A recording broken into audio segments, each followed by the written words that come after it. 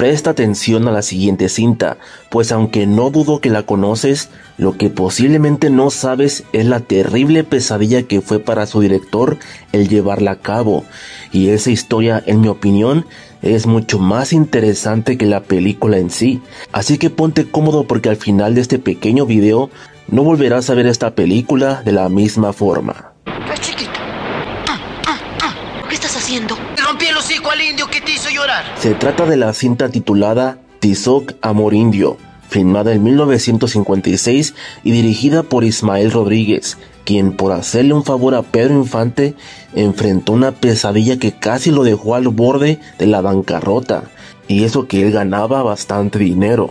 Pedro Infante ya tenía bastantes años pidiéndole a Ismael una cinta sobre la Virgen de Guadalupe, y que Pedro pudiera interpretar al mismísimo Juan Diego. La razón era que Pedro era tan devoto de la Virgen de Guadalupe que en 1954 él fue el conductor de un evento llamado Maratón Guadalupano, el cual buscó obtener fondos para la reconstrucción de la Basílica de Guadalupe e incluso cada 12 de diciembre Pedro le cantaba las mañanitas a la Virgen. Francamente, Ismael no sentía que una película de este tipo fuera un proyecto para él, y todo quedaba en sí Pedro, ya veremos.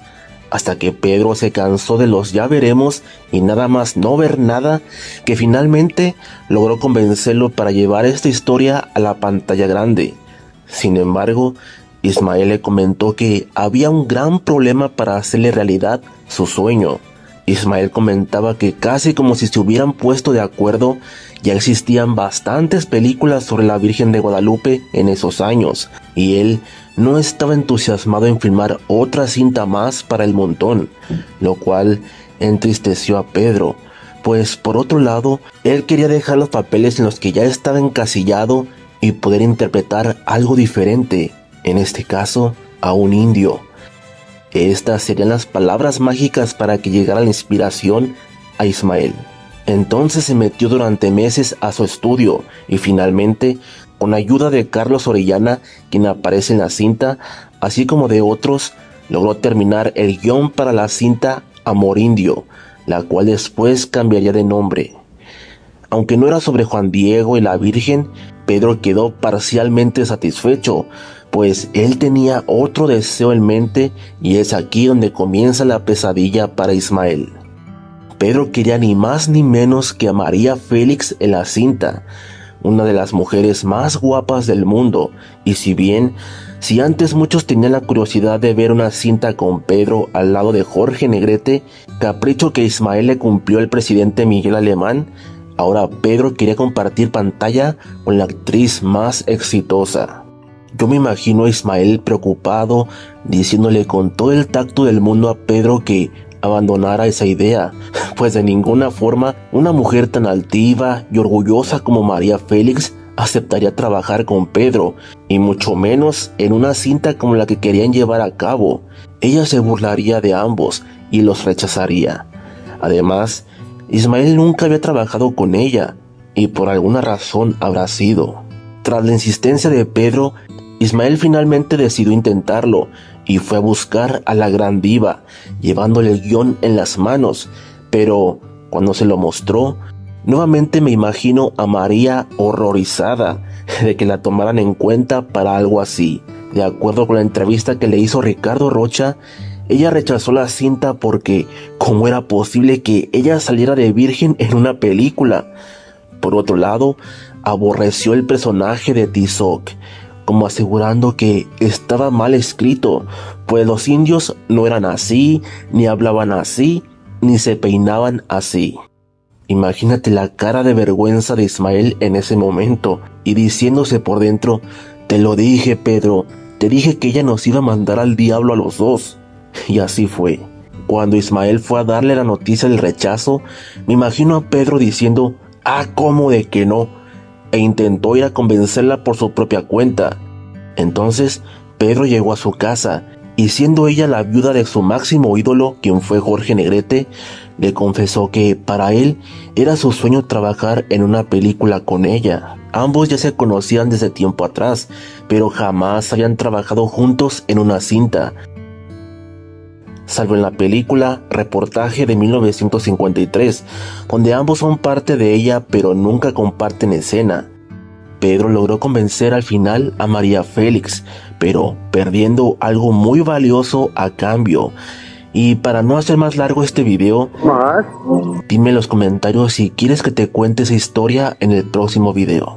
Entonces Pedro le dice a Ismael que busque a María para firmar todos los papeles, pero para Ismael, si las cosas estaban mal, ahora estaría mucho peor. María le dijo que aceptaba trabajar con ellos, pero solamente si le cumplían las siguientes condiciones. Que su nombre apareciera primero en los créditos. Ella sería la protagonista de la película. A ella le pagarán mucho más que a Pedro Infante. Y por último, comprometió a Ismael a que le hiciera una película, pero ahora sí bien hecha, al gusto de ella y sin escatimar en gastos. Ismael no lo podía creer, pues aunque sabía de sobra de la altanería de ella, por otro lado no contaba con el dinero para pagarle tanto, razón por la cual lamentablemente no le quedó más que hipotecar su propia casa al banco para obtener el efectivo, esperando que ojalá a Tizoc le fuera muy bien en los cines. De lo contrario, no podría ganar el dinero para filmarle a ella su gran película y se metería en problemas. María comenzó a trabajar en Tizoc, pero de acuerdo con ella, nunca estuvo a gusto y no le gustó ver a Pedro en su papel. Prácticamente lo hizo por el tremendo cheque que recibiría a cambio, desfalcando a Ismael y dejándolo a la deriva. Lo triste de todo esto es que Pedro Infante no alcanzó a ver terminada su película, pues falleció en 1957. Aunque a María no le gustó la actuación de Pedro, se nota que él le puso todo su corazón y preparación para este papel, pues después de su muerte sería reconocido por esta película como el mejor actor del mundo en 1957 en el Festival de Cine de Berlín, Alemania, superando a todos los actores de ese año.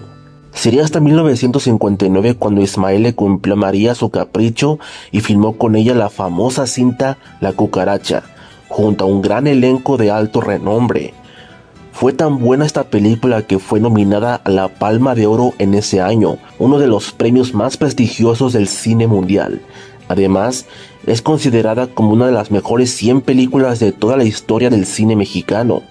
En pocas palabras, esta cinta superó en todo a Tizoc. Si bien, aunque se dice que María era una mala actriz, opino que sí sabía de cine. Antes de terminar, te quiero compartir que siempre me ha llamado la atención esta escena donde Andrés Soler reprende al personaje de María por su personalidad y su forma de ser. Y ahora que tú también conoces la historia detrás de esta cinta, dime si tengo razón o no al creer que Ismael quizás reescribió esa parte del guion y en cierto modo se lo está diciendo a María Félix en su cara. ¿Acaso crees tú que los conventos se han hecho para solapar caprichos de niñas tontas como tú? No sé hablarle de otra manera a una criatura tan altanera, tan engreída y tan soberbia. ¿Esa opinión tiene usted de mí? La misma que tendrán todos los que te conocen. Siento horror de pensar lo que va a ser de ti. Mientras no te arrepientas de ese horrible pecado de soberbia. Tu estúpido orgullo te cerrará todas las puertas. Nadie se atreve a decirle las verdades a una niña mimada. Con ese orgullo desmedido, nunca podrás tener tranquilidad de espíritu. ¿No eres tú la que exige virtudes en los demás? Pues empieza por practicarlas tú misma. ¿O qué opinas? ¿Crees que valió la pena para Ismael todo el sacrificio que hizo por esta película? ¿Qué opinas sobre que Pedro Infante no alcanzó a verla terminada? Déjame saber tus comentarios. Agradeceré bastante si me dejas un pulgar arriba y haces clic en compartir, pues eso me ayuda a seguir trayendo para ti las historias del cine mexicano. Muchas gracias.